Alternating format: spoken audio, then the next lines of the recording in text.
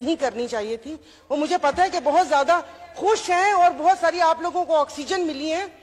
तो सर, ये जरा चुप करवा देंगे प्लीज़ इनको ये बताना चाहती हूँ कि जितना तुम लोगों के पास टोटल दिमाग है, इतना तो मेरा खराब रहता है।